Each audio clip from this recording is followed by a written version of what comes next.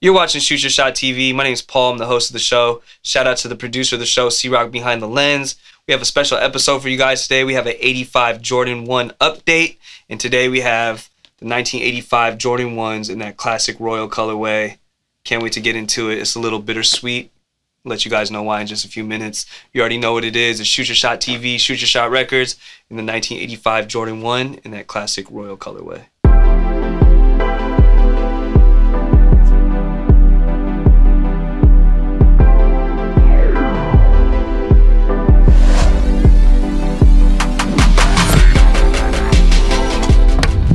Thank you for joining us on another episode of Shoot Your Shot TV. We appreciate you guys. We're happy to be here. We're happy to have you. If this is your first time joining us on the channel, there's a bunch of content on here for you to enjoy. 100 episodes deep.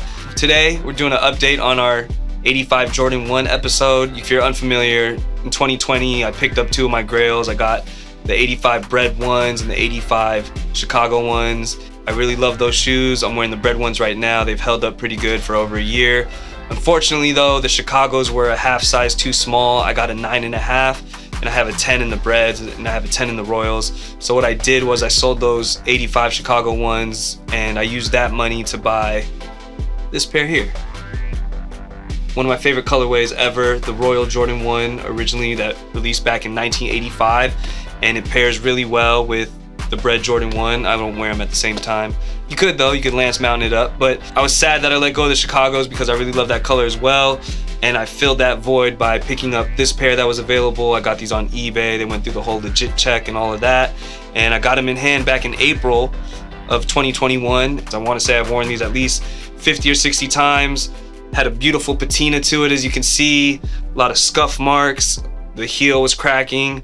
Good thing about the shoe is it was still wearable the inside collars were still very soft, not too crunchy where it had all the sand and debris kind of sinking down to the bottom and then kind of makes it weird when you put them on and how you try them on. The padding is really soft still. Uh, you can still see the Nike insignia on the insole kind of fading, but it's still there. And the Wings logo is still heavily painted. And it just had a lot of character to it, a lot of, you know, story.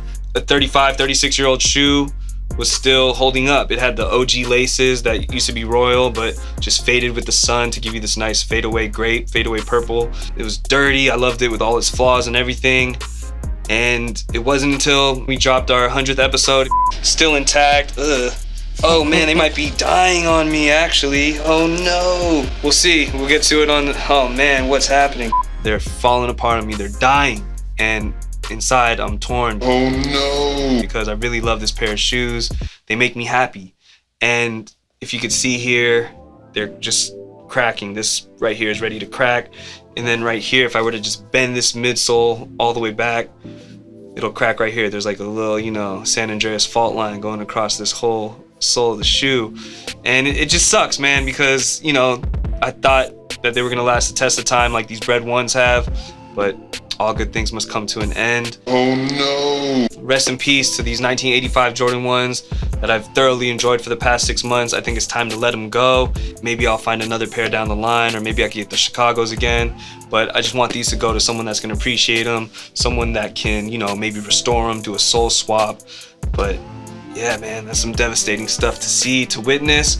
But do not fret. Like I said, the Royal 1 and the Jordan 1 is one of my favorite colorways of all time. So you know, prepared with the, the backups on deck. This pair is from 2001, the first time they retroed that colorway altogether. I've had these for maybe like 15, 16 years now. Um, got a nice patina going, or they're just dirty, I don't know. You know, 20 years old, but it doesn't hit like the 85s do. You can tell it's a 01, but I still love these shoes as well. I've enjoyed these for quite some time. These guys are coming out of retirement, and I'll be wearing these a lot moving forward once those die, and if I don't get a pair of 85s, then I got the 2017s, which I wasn't too crazy about because they kind of, you know, changed the leather, and I don't know, I don't love them. They, something looks off about them, but it's just, you know, just have them just in case because I do love that royal colorway with the black. It just hits. It's like if Michael Jordan went to go play for the Magic or something, you know, but he didn't. It's on the Bulls. This is the first time I've actually brought this pair out since 2017. And for those of you who don't know what the glitter gate or the glitter bloom is, it's when the shoe just sits in different temperatures, maybe hot, cold, and then the paint just starts to react differently to the weather change or the temperature change, and it will start to produce like this glitter substance. I don't know if you could see that. I've kind of tried to clean it earlier, but I've read that even after you clean it, it comes back. But there are some other solutions out there that we've seen, like maybe, you know, using Angelus oil, mink oil to take it out and then using like a microfiber cloth. But crazy. It's crazy that this is happening to a shoe that released four years ago. Glittergate. Let us know if that's happened to you. Uh, my buddy Leo over here said it's happened to his Shadow ones and his Bred ones and even his Royal ones as well. It could be the tissue paper. No one really knows. It's a mystery. Nike, why did this happen? Or maybe the factories that made it. But here's three generations of Royal ones. I got the 85s, you got the 01s, you got the 2017s. I do not have the pair from 2013, but I do remember trying to get them when they dropped. I was down to trade like two pairs of Space Jams or something crazy because they were so limited. Uh, they released All Star Weekend, and there was like there were like 10 pairs at every Foot Locker with, that had a House of Hoops, so they were hard to get. And resale went anywhere from like 800 to thousand dollars, and only higher until the 2017s came out. Hopefully they come out again and again. You know, I don't know. They don't, they don't really drop a lot of Jordan 1 original colors. I think the last one we got was the natural grays. You can check out that review below. Hopefully they hit us with more original colors so we can fill the void of our dying shoes. And for more insight on Jordan 1s, you could again check out our video on the unboxing of my 85 Jordan 1s. Click the link below. And we also did a Holy Grail episode on the 2011 banned Jordan 1 that was a B grade that only released at outlets. And if you're into 1985 Jordan 1s like I am, I've curated a page on Instagram called 85 Jordan 1. You could click the link below, give me a follow, check out all the nice Jordan 1s that I post from 1985. Sometimes 1994, 95 as well, but mainly the babies from 85. I need more. I need it. I love the whole neo vintage look, and I just love. It's like recycling.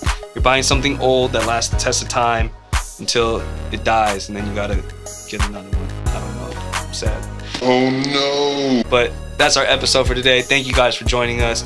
If you have any comments, questions, concerns, or any insight of how this could have been prevented, let us know in the comments below. We'd love to hear from you guys. Make sure to give us that thumbs up. Subscribe to the channel if you haven't already. We're trying to get to 3,000 before the end of 2021. We're almost there, kind of. But thanks again. Make sure you check out our affiliates, the Game Ball Podcast. Check out the pod. More episodes coming soon, and more episodes of Shoot Your Shot TV. Again, my name is Paul. Shout out to Ceerock behind the lens. My boy Leo over here chilling with us. Catch you guys on the next episode. Peace. And if you're into Jordan 1s from 85, okay, let me start again. All right.